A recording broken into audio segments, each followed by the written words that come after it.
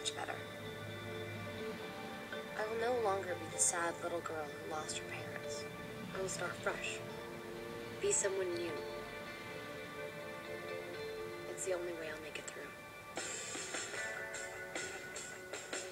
Toast. I can make toast. It's all about the coffee, Aunt Jenna. Is there coffee?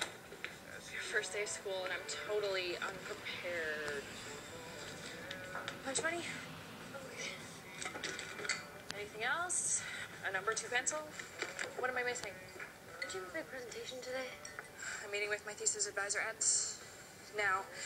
Crap. Then go. We'll be fine.